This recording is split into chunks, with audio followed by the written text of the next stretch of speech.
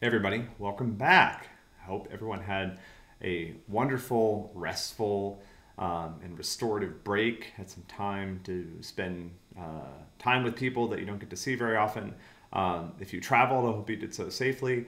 Um, and we're back for just a little bit more this semester. So one of the things I'm going to remind you of is uh, because of how this class is structured, you've done most of the work that you're going to do this semester. There's no big final exam that we're going to throw at you to try to pretend that you've learned all this stuff throughout the semester.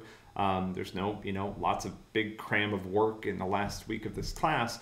Uh, we're not desperate to try to create the illusion that you've learned something. You did learn something. Uh, look at what you were doing in the first week of the class and look what you're capable of doing now. Um, so there's no sprint to the finish line here. We're just going to continue to move at our uh, the pace that we've established throughout the semester, the pace that has allowed you to learn so much and to do so much. Um, really, what we're driving at at this point is you have a couple more quizzes. Um, we're going to continue some homework problems this week, have four more of those.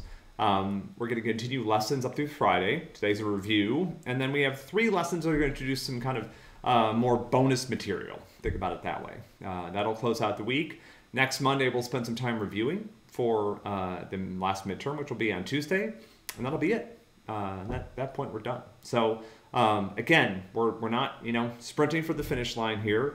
Uh, you guys have done a lot of work all semester, and I would sort of take a moment to reflect on that, look back on that. But that also puts us in a great spot uh, for the remainder of the semester. So, uh, welcome back. Uh, today, we're what we're going to do is we're going to review some sorting algorithms to prepare you for tomorrow's quiz.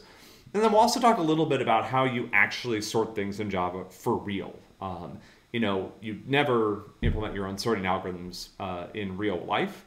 Um, we use ones that are built into the language that are far more sophisticated and well tested than any that you'd create yourself. Uh, so we'll talk a little bit about how to work uh, with sorting algorithms in Java and how to apply those uh, to some uh, problems and how to do some things that sort of commonly come up when we're trying to sort actual Java objects that don't always come up when we're implementing sorting algorithms. So um, I hope you enjoyed today's lesson. Uh, welcome back.